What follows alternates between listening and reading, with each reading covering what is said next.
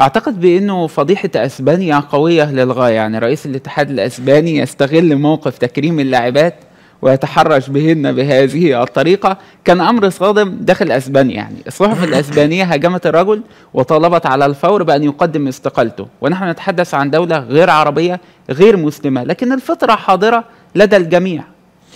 خليني أقول لك على حاجة إن كويس إن أنت قارنت الحدثين ببعض آه، رغم دي حاجة في الرياضة ودي حاجة في الفن ولكن آه، دي حاجة تفهمنا إن صناع القرار والمسؤولين والمناصب الرئيسية جدا في العالم دي أفكارهم. دي طبيعة حياتهم. دي آه، طريقة حياتهم وكل أفكارهم. أوكي؟ آه، أسترجع حاجة كنت قريتها خاصة مقالة فيها اعترافات ممثلات من من هوليود. بيقولوا فيها إن كان بعض المخرجين شوف الكلام ده إحنا كنا بنقوله عندنا في الوطن العربي وحتى بيتقال بهزار أو أو نكتة أو كده أهو إن بعض الممثلات المخرجين اشترطوا عليهم إقامة علاقات كاملة مقابل الظهور في أفلام البطولة.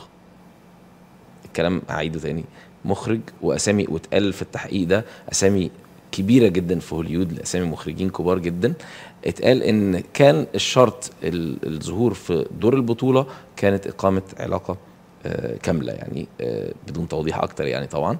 آه، فده يفهمك قد إيه إن الموضوع ما فيهوش شيء صدفة هو الموضوع منظم جدا وبوابة الموضوع ده كله ولا هي حرية تعبير ولا هي أفكار آه، تتداول في الفضاء ومن أجل نشرها أو مناقشتها لأ الأمر آه، فقط في الاتجاه الوحش.